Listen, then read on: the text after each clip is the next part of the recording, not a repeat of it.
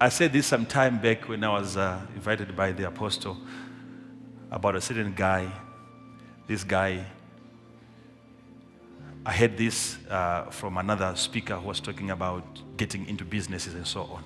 He said this guy wanted to start a business, he didn't even have money. But he realized that he was supposed to be a very, very, very uh, uh, upcoming farmer. And nearby, there was another farmer who was doing very well. He had good cattle in his farm. And this young upcoming guy went to him and said, Do you have any cow that you're selling? And the owner of this big farm said, Yes, I've got several that I'm selling. And he said, I'm looking for one that I can, uh, I can get for $100. And this big farmer started laughing and said, uh, Young man, my cattle here, they started 2,000. Just 2,000, that's it. And he begged and he begged. He said, just for $100. He said, no, no, no, no. You can find some other places. Here, just look at them.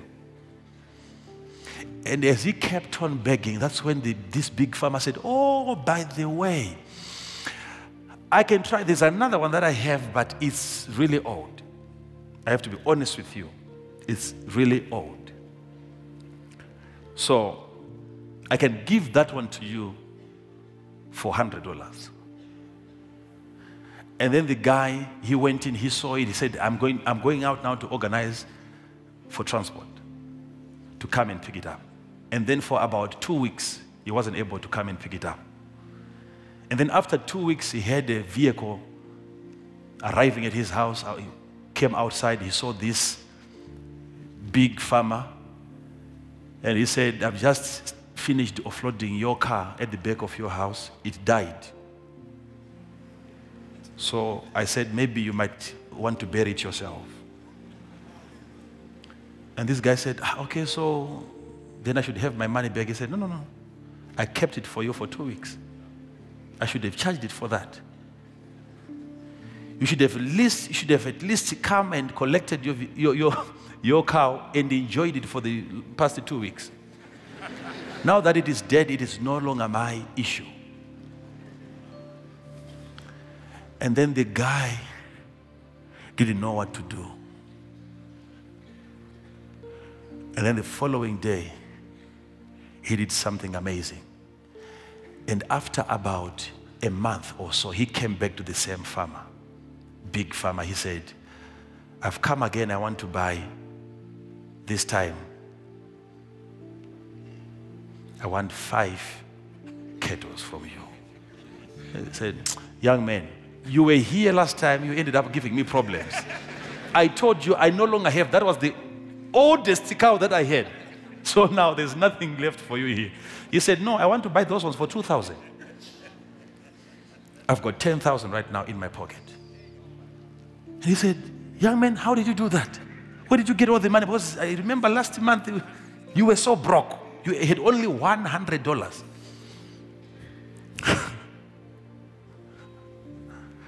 he said, The one that you brought to my house, I just placed it on a raffle. I was selling tickets for $10. $10 a cow. There's a cow for $10, and people were buying. Until I got that $10,000. And, he's, and the big farmer said, Ah, so who bought that cow that was dead? He said, There's a, there's a guy who bought it. And he collected. He said, No, I didn't have a problem with anyone. I just returned his money. You didn't have a problem. He said, I didn't have a problem. He was selling a dead cow. So he didn't have a problem with the rest of the people. He only had a problem with the person that won. But still, he gave him his money back. I'm not saying you go and you, you do that, but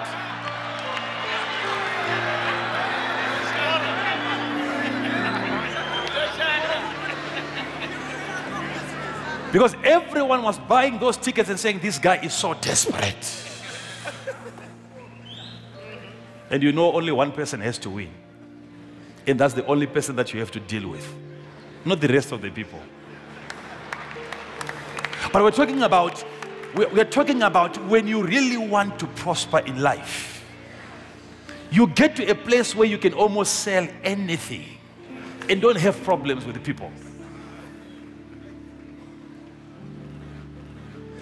This afternoon, I was talking to another, another farmer. What surprised me is that uh, he's, he's not using irrigation in his farm. He's just, just relying on this rain that comes down. And I said, What is this? He said, I'm even expecting like uh, nine tons, 10 tons a hectare of maize. I was looking at the maize. I was, I was amazed at the maize. I said, How are you able to do this? No irrigation, no what? Because what, what really amazed me is the fact that the method that he applied, the method that he applied is applicable anywhere else. If what I'm seeing now is a product of the rains that we saw coming down, and there is no activity whatsoever happening in most of the farms. And I'm looking, I'm in a place where somebody's about to get 10 tons per hectare.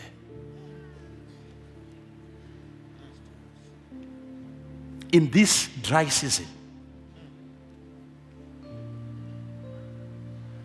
Say, how do you, how do, you do that?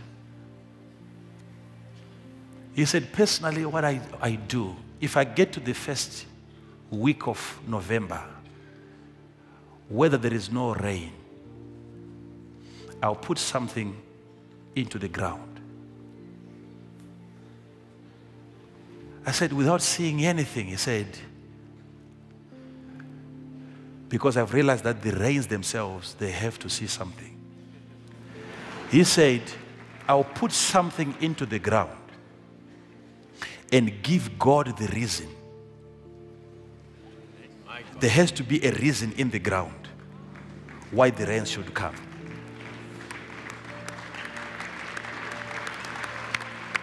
I have to plant.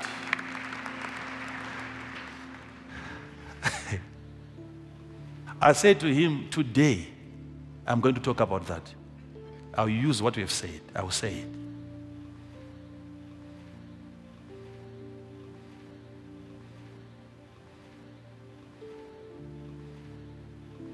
Ladies and gentlemen, it's, it's not all about possessing it.